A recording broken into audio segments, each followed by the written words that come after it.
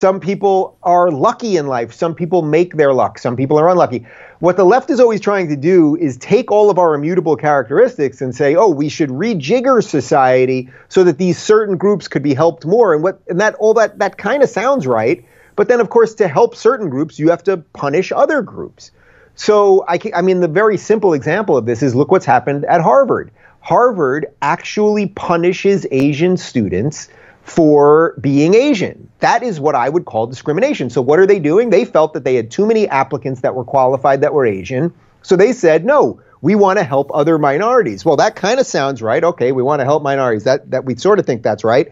But then what that does is it make you have to now punish Asian students who have worked hard, cared about family and everything else, so that you help somebody else. So why should an 18-year-old Asian kid who busted his butt, whose parents either were immigrants or maybe second or third generation immigrants who all busted their butt. It's not no one gave anything when when everyone came to America, whether you came from China or Ireland or Italy or Greece or Eastern Europe or whatever it is.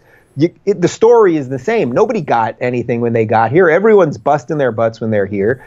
So uh, there are certain communities that then, usually based on some sort of ethnic lines, that their priorities are a little bit different. So, broadly speaking, Asian communities work really hard, care about education, care about family. So they've succeeded and, and socioeconomically succeed. It's the, it's the beautiful American story. It's the story that we all want to share in, right? The idea that then you're going to say to this kid, well, nobody gave your grandparents anything and they owned a convenience store and then your parents worked harder and maybe were the first ones college educated, but you guys have it too good. So now we're going to punish you well, congratulations. You're just going to set people up to hate each other based on race. So oddly, it's the anti racists, the people that purport to be anti racists. We want to help these people who are actually injecting racism into society. Th- this is a notion that we have to obliterate. It's a, it's a terrible idea.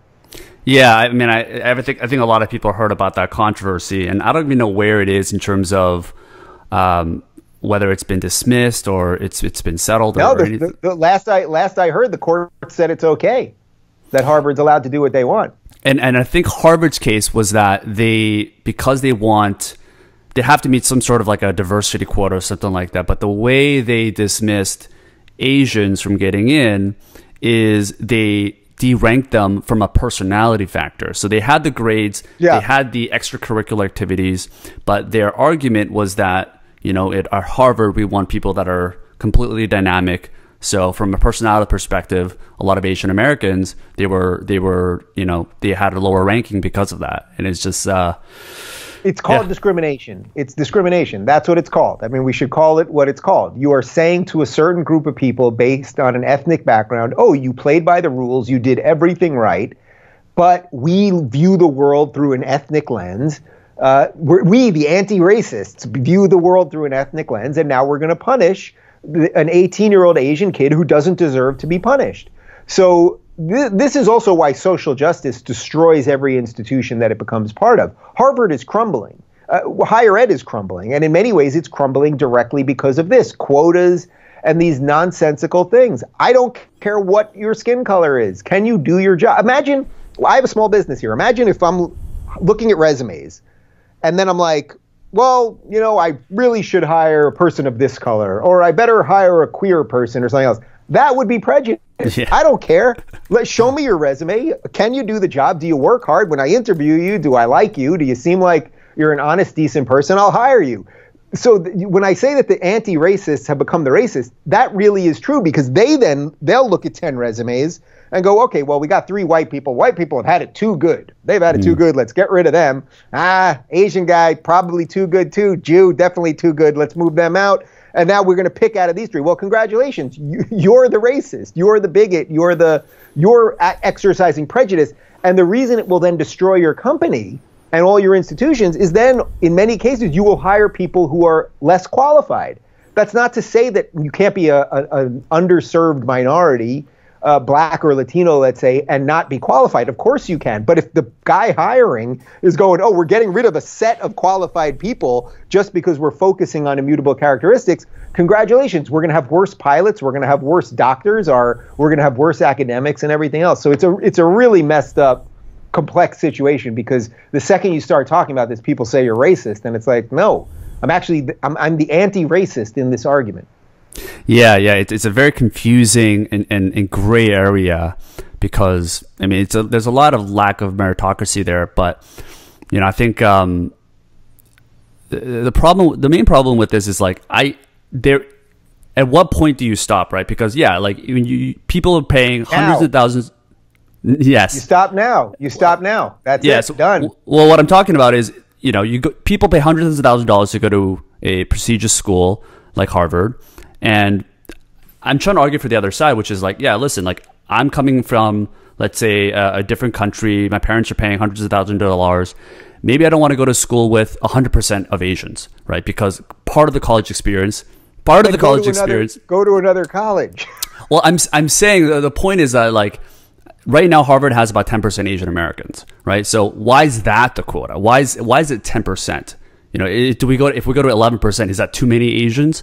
Uh, Why can't we go to 20%? I understand that you can't have 100% because you know, maybe it's not going to create the full dynamic experience, which is part of really a big part of what college is. They can make that argument for sure, but why is it 10%? I mean, I, I- I guess they could make that argument. I, I don't buy that argument. If a school happens to be 100% Asian or 100% black or something, if they were discriminating against people, if they were liter, if let's say a school was 100% Asian and they were simply not letting in white people based on the color of their skin, well, then I would believe that that is discrimination. But I don't have an inherent problem if 100% of the most qualified applicants happen to be Asian, I have no problem with the school being Asian. The same way I would have no problem with it being black or Latino or anything else. If the people who are qualified are qualified, well, there we could we can always I always think politics is best done done personal. So what where, where are your ancestors from? Your grandparents or your great grandparents, whatever it is. South Korea. South Korea. Okay, Yeah. so uh, was it? What, do you know what generation came here? Uh, well, I would be. My parents came here, and then I was I was I was still born in Korea, so I came here when I was seven Oh. from Korea. Okay, so so all right, so then you're a perfect example. I'm I'm the so I'm the person, yeah. Right. So it's not even that you are fourth generation, your great grandparents busted their butts and blah blah blah blah blah, where they're going to punish that guy. Now you're it's your parents were first generation. So technically, since you were born there, you're a first generation American. Why would you Harvard, if you were applying to get in, would punish you? That makes literally no sense. You're an immigrant. I suspect your parents probably worked really hard, probably still do right now, and you've obviously got a good head on your shoulders and you're doing something you love. That's freaking amazing. But but why should you be for a policy that would hurt you? It just doesn't make any sense. Yeah, yeah. I mean, it's it's it's it's I, it's a hard argument to make, right? And I'm surprised that you said Harvard won the case, Yeah, I believe Harvard won the case. and and that was the case, right? It was the personality deranking. Yeah, it had something to do with that. That, that they were ranking not just on uh, academic scores. Listen, it's up to Harvard can choose whatever qualifications it wants. I'm not. I'm not here telling Harvard that the government should be telling Harvard what they should be doing. I just think we should be calling out discrimination when we see it. Yeah. And Harvard is supposed to be one of our elite institutions that then proliferates the world with the great thinkers and great ideas. But by the way, we're I mean we actually are watching Harvard is going to be like one of the first ones to really collapse because there's just so much bad stuff going Yeah. on there. And Jeffrey Epstein had a lot of connections over there. There's like a lot of weird stuff going on at Harvard. Um, but as an institution itself, as a private institution, it can do whatever it wants. But that doesn't mean we have to just sit quietly and pretend it's not happening. But I just don't like the idea that if you applied to Harvard, they would look at your resume and go, "Well, he's Asian, so it should be harder for him to get in." What? Yeah, I'm, I'm a a first generation quota. immigrant. My my yeah, makes no sense. Yeah, absolutely. I mean, hopefully my personality isn't going to be deranked there, but You seem pretty friendly, you know. no, I'm kidding.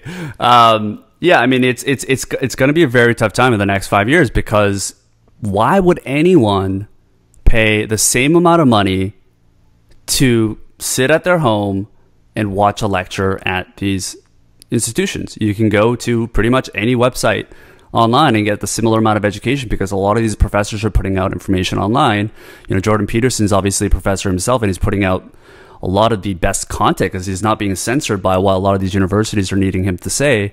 And right now, you don't really get the social experience of being in college. So I just don't know what's going to happen. Uh, curious, curious to know your thoughts on that. Well, I do sense that the institutions will continue to crumble. I think the average kid who maybe was getting $20,000 into debt every year to go to one of these elite institutions, you're right, they can watch Jordan Peterson lectures uh, and learn about postmodernism. They can watch Bret Weinstein videos and learn about biology. I mean, there's a gajillion videos out there that they can learn. So learning will be back on you. Uh, I am concerned about the socialization part, but I'm concerned about that not only at the college level, I'm concerned about that at every level. You got six year olds that are spending all day on Zoom right now. That's a problem. You got 43 year olds that my only communication with my parents and my brothers and sisters, or everyone's back east, is all through FaceTime. We, we, we are social creatures. We can't exist only through this digital thing unless basically we're conceding that the Matrix was real and is real right now, and that we're just the batteries for the digital world, which maybe we are. If you haven't watched The Matrix in a while, I would re- recommend watching it again.